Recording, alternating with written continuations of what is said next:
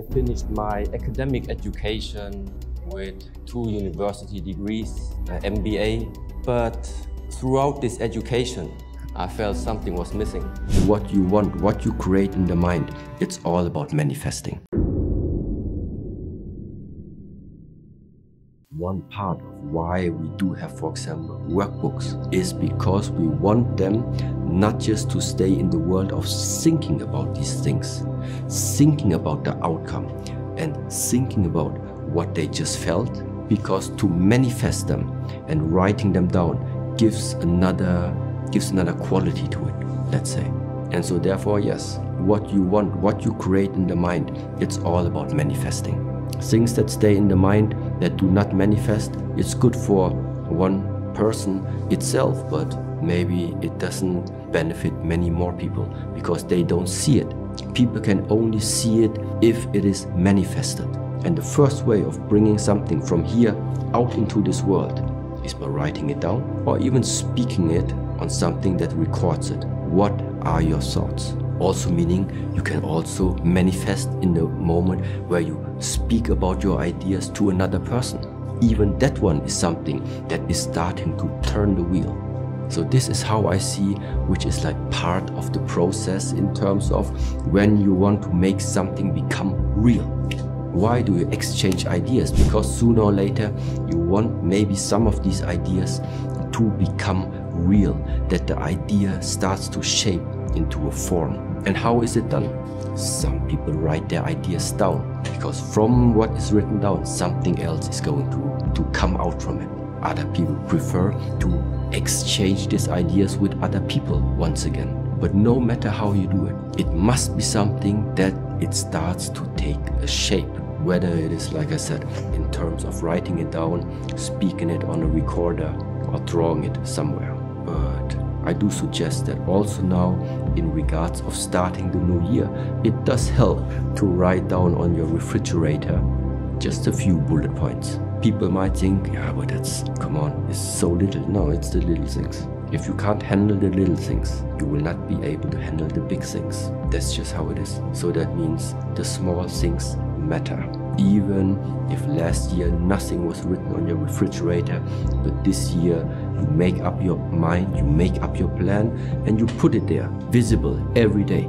It matters. There is information possible to be shared with words, but it is impossible to share the experience of clarity when you are standing on that peak by yourself.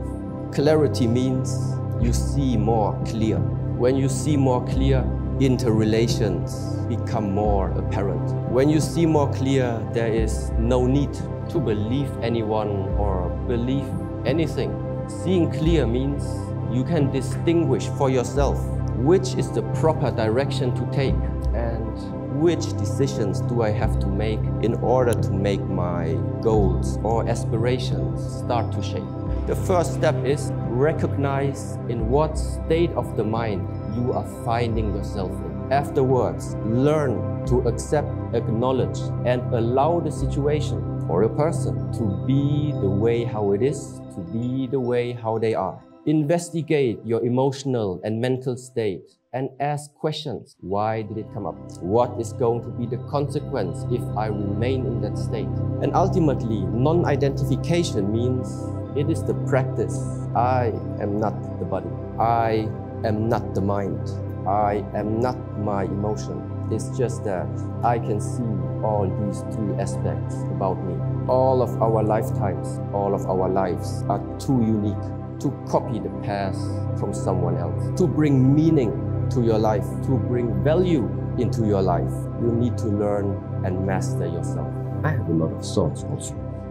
I have a lot of ideas. Partly, these are things now that sometimes come from me. At the same time, I also have, let's say, requests or ideas that are coming, let's say, from the outside being offered to me. So, what I have sometimes at the end of the day is I can see in the mind those ideas. Now, what I do first of all is I keep them within myself and do what I call I contemplate, I think about them, but think about them deeply.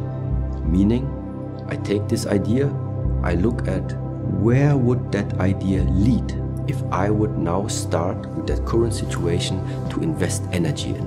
And so, what derives out from that is I'm starting to see pictures, I start to see a vision involving that idea in the future. And this I just do with everything that comes to my mind.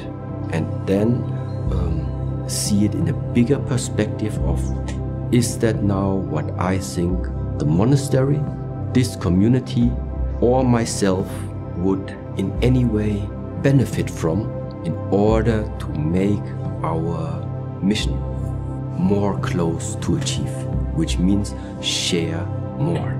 This is how at the moment I'm planning my, let's say, I'm starting my projects.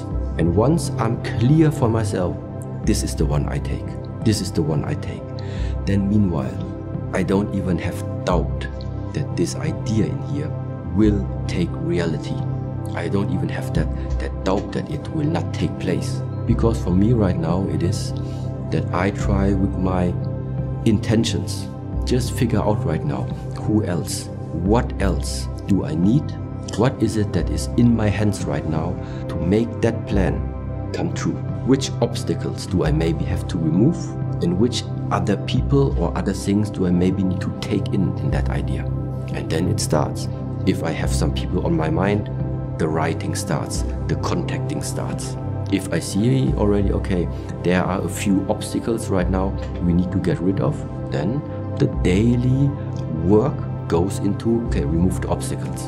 And yes, and why I am saying that at the moment I am trusting this process so much, that I'm trusting that idea so much that it will come real, is because I'm clear of my intentions.